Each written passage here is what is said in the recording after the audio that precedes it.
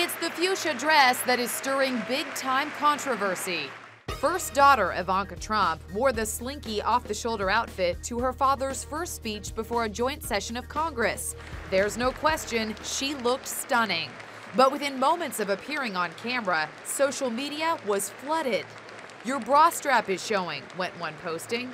In fact, it's not a bra strap at all. It's part of the $3,000 dress by French designer Roland Mouret.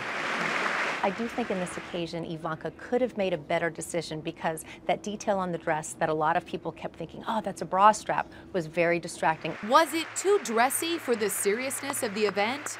Very inappropriate when she knew she would be standing next to Seal Widow. No class, went one posting.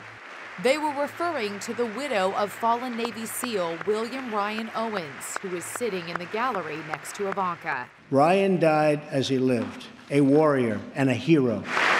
Carryn Owens looked to the sky and whispered, I love you, during a nearly two minute standing ovation. It was very distracting and a very somber moment, especially next to the Navy SEAL widow. Ivanka posted a picture of herself, along with her husband, presidential aide Jared Kushner, at the White House before leaving for the Capitol. She rode in the back seat of the limo with her dad, who in this revealing moment can be seen rehearsing his speech. First Lady Melania also made quite a grand entrance. She got a standing ovation wearing a glitzy Michael Kors evening suit that sparkled and shimmered. Price tag $10,000. It was fresh off the runway from the spring 2017 collection. The suit had hand embroidered sequin flowers. Melania wore it with a wide belt and chose not to wear a blouse underneath the jacket.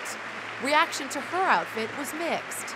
Beautiful tailored ensemble, elegant and chic, went one post. Melania was radiant and stunning, tweeted another person. Someone else wrote her suit would be okay if she was attending the Oscars.